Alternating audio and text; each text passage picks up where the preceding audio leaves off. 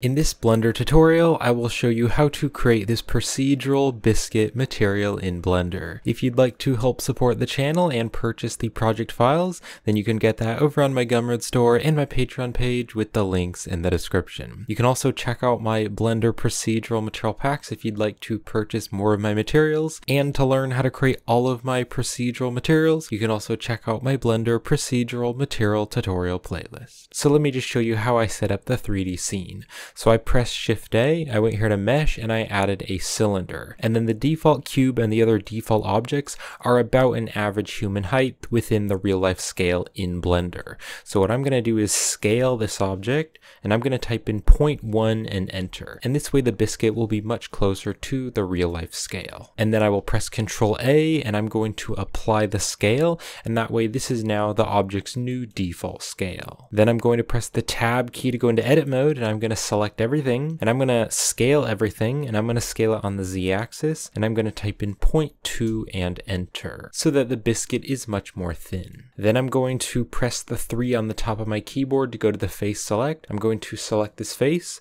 and I'm going to hit E to extrude and then S to scale and I'll do that a few more times. So E to extrude, just extrude it up a little bit and then scale it down and E to extrude and S to scale, just kind of adding more geometry. And why I'm adding all all of this geometry is because I'm going to be using the displacements in the node editor to actually displace the mesh, and so we do need some geometry for the displacements to use. And then I can also hold down the Alt key and select this loop right here, and then what I'm going to do is click right here to turn on the proportional editing, and I can press G to grab, I can bring it up on the Z-axis, and I can also scroll my scroll wheel and scroll it way down so that the proportional editing is smaller, and I can just bring that up a little bit, so something like that.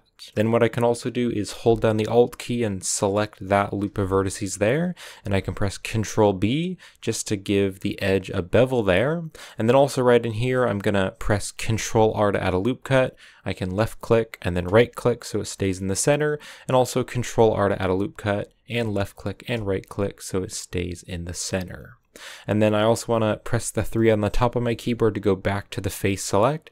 And I'm going to select this face and I'm going to press I to inset and I'm just going to scale this way down, place it there. But then I want to merge these together so that there's just one vertex in the center. So I'm going to press the M key and then I'm going to merge at center. And now we just have one vertex there in the very center. And then also right down here on the bottom of the biscuit, I want to add a bit more geometry. So let's click right here to the face select or you can press the three on the top of your keyboard. And I'm just going to select this face here and I'll press the I key to inset that place that there and inset that a few more times. So just hit the I key to inset and add a bit more geometry. All right, I can press the tab key to go back to object mode. And then right over here on the modifier properties, I want to give this a subdivision surface modifier to smooth that out. So let's click on add modifier and under generate, I can add the subdivision surface. And then I want to turn the viewport and render levels both up to three so that it has much more geometry. And then using the object context menu, I can shade this object smooth. And then I also want to sharpen up this bottom edge here on the bottom of the biscuit. So I'll press the tab key to go into edit mode and I can press control R to add a loop cut and I'm going to click and then drag down and place it there just so that that edge is a bit sharper. So something like that, just some simple modeling for the biscuit. And then in object mode, I can press shift A and I can go down here and add a camera. And then I can just navigate to where I want the camera to be. And I can press control alt numpad zero. Control alt numpad zero will bring the camera to where we are. And then with the camera selected, you can press G to grab. You can hold down the shift key to make your movements more sensitive and just move the camera around. And also right over here on the object data properties here on the camera, I want to turn the focal length up to 80 and this way it'll make everything look a bit more flat and I do think that looks better. And I can also press the G key to grab and then I can double tap the Z key and this will bring the camera in and out. So I'll just place the camera about there. And then if I hold down the Z button and go up into the rendered view, you can see that the lighting isn't very nice. And so I'm going to be adding in an HDRI to get some nice realistic lighting. So right here on the world properties, right here on the surface, if you click on the yellow dot next to color, you can choose the environment texture, and then you can click on the open button and open up an HDRI. And I'm going to be adding in the Machine Shop 02 1K HDRI. So this is a free HDRI from polyhaven.com. I'll have the links in the description if you'd like to download it. And I downloaded the 1K HDR version. So I'm just going to double click on this to open it up. And then right here on the strength, I'm going to turn the strength to a 0.8 so that the HDRI is a little bit less strong. Now to make the colors look a bit nicer, I'm going to go right here to the render properties and I'm going to open up the color management tab. And I'm going to use the view transform of Filmic and then on the look here, I'm going to change this to very high contrast and this will pop out the colors and make everything more contrasty and saturated. And also if you don't want to see the HDRI in the background, you can open up the film tab right here and you're going to check mark the transparent and that way the background will be transparent but it will still add lighting to the scene. And then also I am doing this in cycles render and I definitely would recommend doing this in cycles because I am trying to make this look very realistic. And also I'm going to be using the displacements in the node editor and the node editor displacements only work in cycles. They don't work in Eevee. So I would recommend using cycles. Now I actually want to rotate the HDRI light around because right now it's kind of blown out and the lighting is actually going to look pretty flat. So I want to rotate the HDRI around because I found that the lighting looks better if it's coming at a different angle. So what I'm going to do is click right here to go to the shading workspace. And then I have the shader nodes right here and the 3D viewport over here. And I'm going to go into the rendered view. And then to edit the world nodes, we can click here on object on the shader editor and we can change this to world instead. Now I'm going to be using the Node Wrangler add-on in this tutorial, so if you don't have the Node Wrangler enabled, you can click on Edit and you can go to the Preferences, and then over there in the Add-ons tab, you can just search for Node Wrangler and just checkmark the Node Wrangler add-on, and I'll show you how to use it in the video. So once the Node Wrangler add-on is turned on, you can select the HDRI here in the world shader nodes, and you can press Control T. And that is using the feature of the Node Wrangler, and it's going to add the texture coordinate and mapping. And then we can use this mapping node to rotate around the HDRI because the mapping is going to control where the HDRI is placed. So right here on the rotation, we can rotate the Z value and that's going to rotate the HDRI around. So I'm going to type in negative 90 just to rotate that over by negative 90. And now you can see that there's a bit more contrast. There's kind of some shadow here and the light is kind of coming over at this angle. And that really will make the material look much nicer and you'll be able to see a lot more detail in the material. So I do like that better. And then let's click on world here and I'm going to change this back to object so that we can edit the object material. So just select the object and then here in the shader editor, I'm going to click on new to add a new material. And I can rename the material to biscuit. So to start off, I want to add a gradient texture because I want the bottom of the biscuit to look a bit darker and make it look like maybe it's a little bit toasted or more cooked. And then I want the top of the biscuit to look a little bit lighter. So I'm going to press Shift A. Let's go to the search and I'm going to search for the gradient texture and let's put the gradient texture right there. And then because we turned on the Node Wrangler add-on, you can hold down the Control and Shift key and then select different nodes, and that's going to preview the different nodes on the object. So I'm just going to Control Shift and select the gradient texture. And you can see the gradient texture is black and then it goes to white. Now I want to rotate the gradient texture because I want it to be darker on the bottom and then be lighter as it goes up to the top of the biscuit. So with the gradient texture selected, I can press Control T, and that's going to add the texture coordinate and mapping nodes. And I want to use the object coordinate, so let's put the object into the vector of the mapping.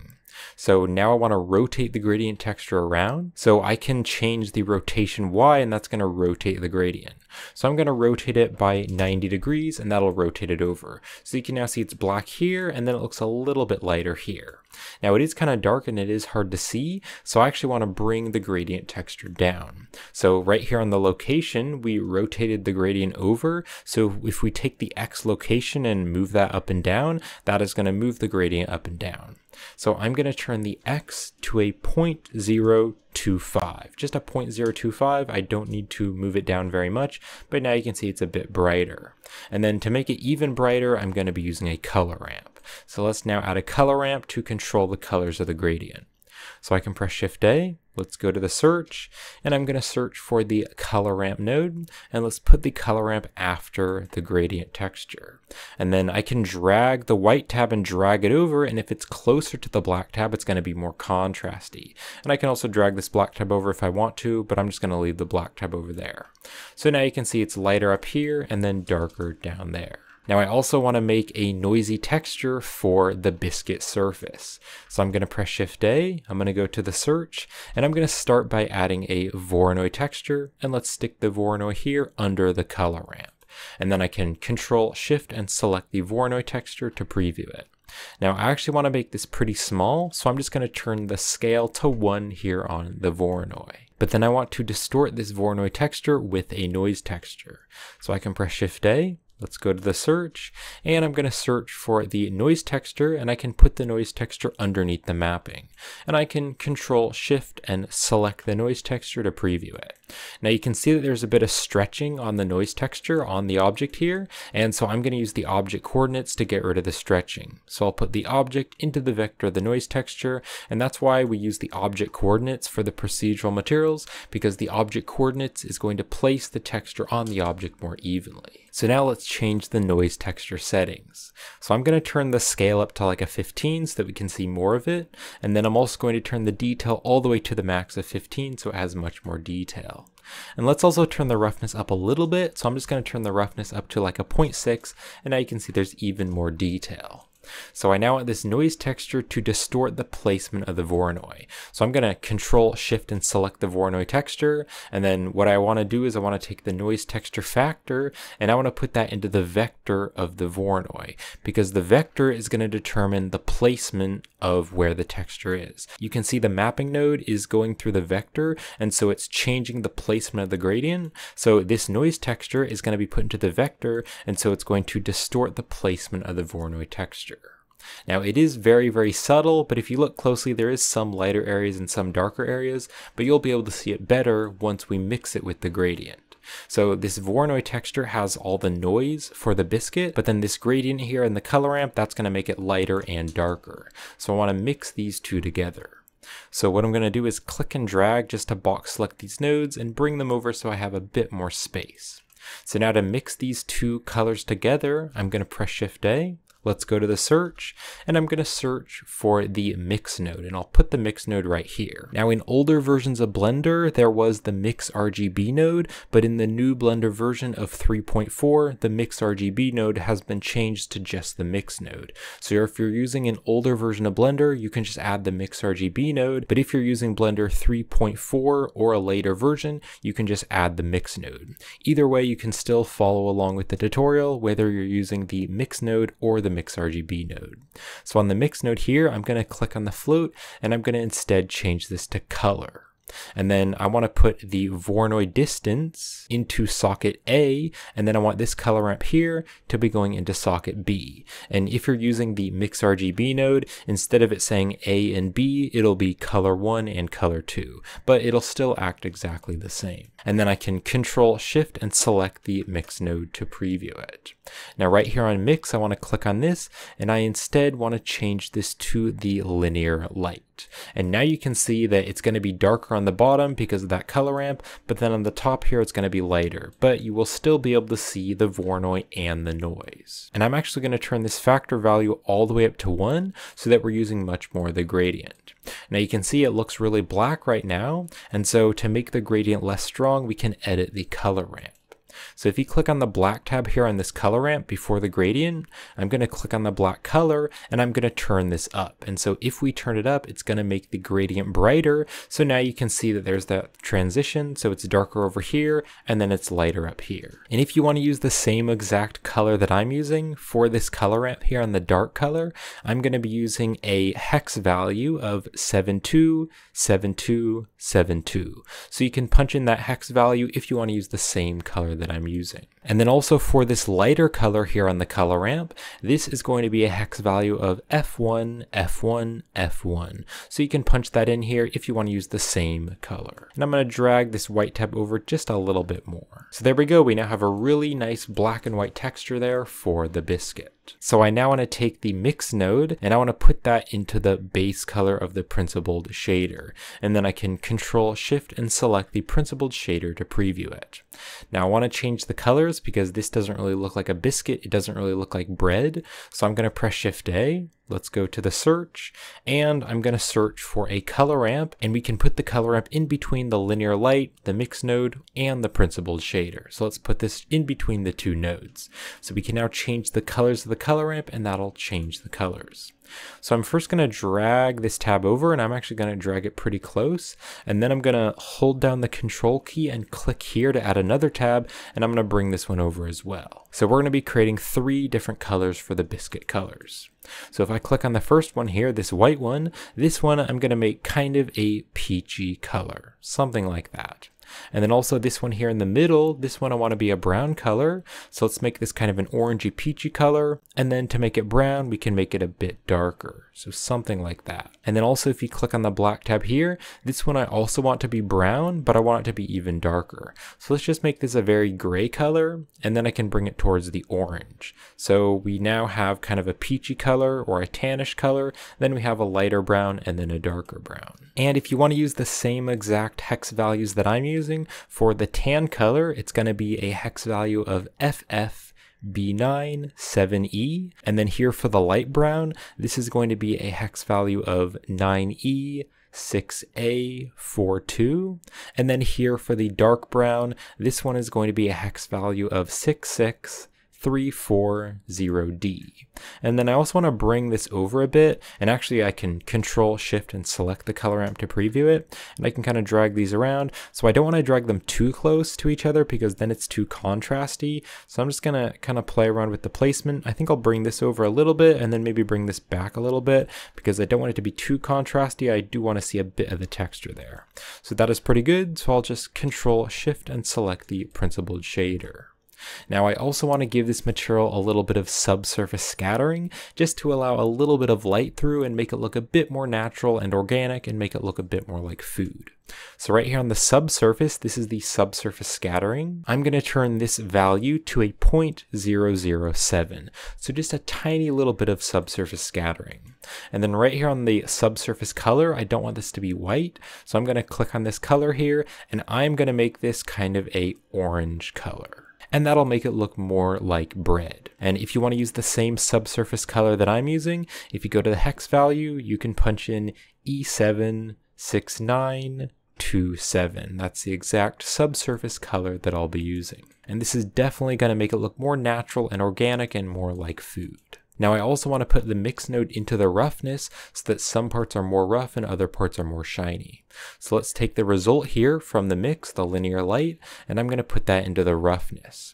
Now this is way too shiny, so I want to make it more rough because this is a biscuit material, so it should be kind of dry and so it should be more rough.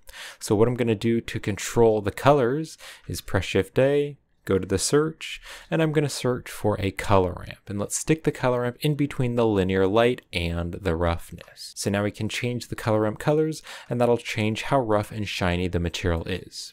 So if the colors are lighter, then it's going to be more rough. So I'm going to click on this black tab here, and I'm going to turn this up, and so when I turn it up, you can see now it is much more rough. And that makes it look more dry, kind of like a biscuit. And also this light tab right here, I think I will click on the color and make this just a little bit darker. And if you want to use the same exact hex values that I'm using, over here, this slightly darker gray color, this is going to be a hex value of B4, B4, B4. And then here on the slightly lighter color, this is going to be a hex value of E5, E5, E5. This is starting to look like a biscuit, but it is very smooth. And so I want to make it bumpy and make it look kind of crumbly. So to do that, I'm going to take this linear light here and I'm going to put it into the normal to give it some bump. Now we need to convert this color data into normal data. So to do that, I can press Shift A. Let's go to the search and I'm going to search for the bump node and let's put the bump node in between the linear light and the normal. And then to actually convert it to normal data, we want to put the result here from the linear light into the height value of the bump. And that way it's going to convert it to normal data, so now you can see the biscuit looks bumpy. Now it is a bit too strong, so I'm going to take the strength and I'm just going to turn that down to like a 0.3 so it is more subtle. And also I think it looks better if we invert it, so I'm going to hit the invert button just to invert the bump. Now I also want to add a bit more bump all over, so I want to take this noise texture and I also want to put that into the bump. So I'm going to click on this bump node right here, and I'm going to press Shift D to duplicate it, and let's stick it down here. Now the normal can go into the normal, and so this way we can mix two bump maps together. And I'm also going to uncheck the invert. So now that we have this other bump node, I can take the noise texture factor and let's put that into the height value of the bump. And then right here on the strength, I do want this to be more subtle. So I'm just going to turn this to like a 0.15, just a 0.15. I think that looks better. Alright, so that is definitely looking more like a biscuit, but you can see the edges are still pretty smooth. And so I'm going to be adding this noise texture into the displacement to actually displace the mesh and make it look kind of bumpy and chunky. So let's take the noise texture factor and I'm going to put that into the displacement of the material output. And then just like these bump nodes, we need to convert this black and white data into displacement data. So to do that, I'm going to press Shift A. Let's go to the search and I'm going to search for the displacement node. And I want to put the displacement node here in the wire between the noise texture and the displacement. So you can just stick it right there and it's going to connect it up. And let's bring the displacement down so it isn't overlapping. And then to actually convert it to displacement data, I want the noise texture factor to actually be going into the height value of the displacement. Now you can see it's still not actually displacing the mesh, and that's because we need to tell the material that it can use the displacement. So if you go right over here to the side panel and go to the material properties, I'm going to minimize these tabs, and I want to open up the settings tab right here. And then right here on the surface displacement, you can see it set to bump only right now. I want to change this to displacement only. And this is going to tell the material that it can use the displacements. And then it is way too strong, so let's just turn the strength way down on the displacement. So to turn it down, I can turn the scale value to just like a 0.1 for now. Now, right here on the displacement, you could change this to displacement and bump, and that way it would be more detailed, but I actually prefer the displacement here just to be set to displacement only, because we are using these bump nodes here to give the surface some bump, and so I think changing it to displacement and bump actually gives it a bit too much detail, because I do want some parts of the biscuit to be a little bit smooth. So you could use displacement and bump if you want to, but I'm going to use displacement only. Now this is still too strong, so let's turn the scale down to make it even more subtle. And I'm going to turn the displacement scale to a 0.025. I think that looks pretty good. So now if you look on the edges, you can see it looks bumpy. And that looks much more like a biscuit. And there we have it. So there is the procedural biscuit material. So I'll just give this a final render. So thank you so much for watching this tutorial and I hope you enjoyed it. And if you'd like to purchase the tutorial files and help support this channel, then you can get that over on my Gumroad store and my Patreon page. I'll have the links in the description. And if you'd like to purchase more of my procedural materials, you can also check out my procedural material packs and you can also check out my procedural food pack to purchase procedural food materials. And if you'd like like to learn how to create any of my procedural materials, you can also check out my Blender procedural material tutorial playlist here on YouTube. Links are in the description. But I hope you enjoyed this, and thank you for watching.